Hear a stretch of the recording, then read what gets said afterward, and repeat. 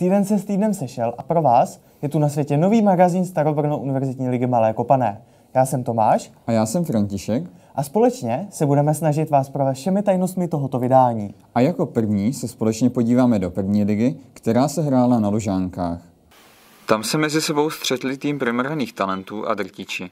Druzí jmenovaní se sice dostali brzy do vedení, primrhané talenty se však postupně zmocnili otěží zápasu a od svého soupeře se odpoutali na celkem čtyřbrankový rozdíl. Ten se i přes vehementní snahu na žádné snížení již nezmohl a zápas tak skončil 4-1 pro tým primrhaných talentů. To byl hezký zápas, plno šancí s obou stran a i docela pohledný fotbal.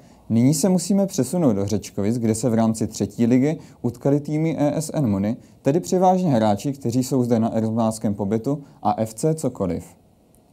A SN Muni již od začátku dělal svoji hru FC Cokoliv poměrně velké problémy. Již ve čtvrté minutě se prosadil Leonardo Lagarde a schodně hetrik pak zaznamenali Mario Jiménez a Aleksandr Jusupov, který si z obrany soupeře dělal doslova trhací kalendář a samotný se dostal ještě do několika tutových šancí. FC cokoliv se nedala upřít snaha s již rozhodnutým zápasem něco provést, to však vedlo jenom do několika málo šancí. SN Muni poměrně jednoznačným poměrem zvítězilo 7-0 a v tabulce se posunulo na páté místo.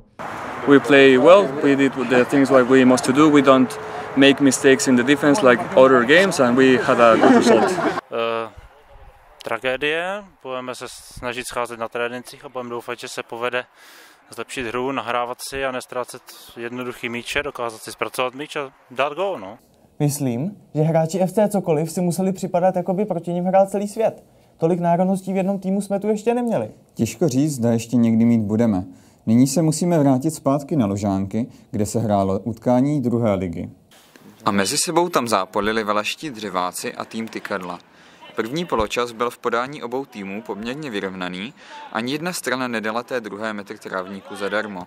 Potom se však vlaští dřeváci, především ve snaze obrátit utkání na svou stranu, otevřeli hru, což na jedné straně vedlo k velkým závěrům před golmanem Tykadel, díky důsledné obraně se jim ale nepovedlo vstředit žádný gól.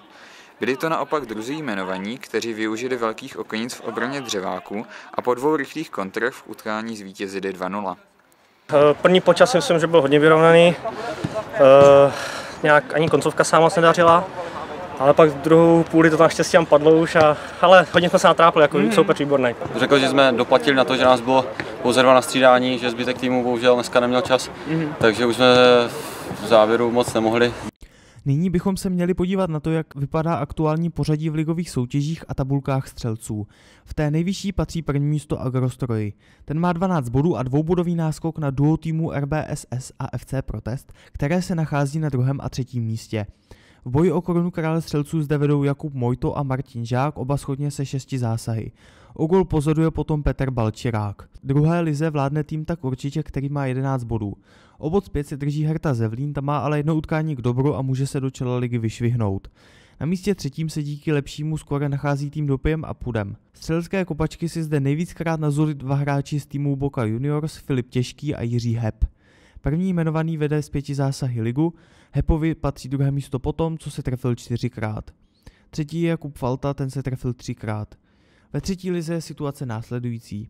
S tříbodovým náskokem jsou na čele Loverboys FC, druhé místo patří pěšťanskému slangu s 13 body a okupaci třetího místa i nadále zvládají AC Sudety 1988. Ty mají bodů 12. Tabulku střelců zde poměrně suverénně opanovává Mario Jiménez s osmi zásahy, na místě druhém se nachází Robin Krumpholz se sedmi góly a na pomyslné stupně vítězů by se dostal ještě Daniel Havliš.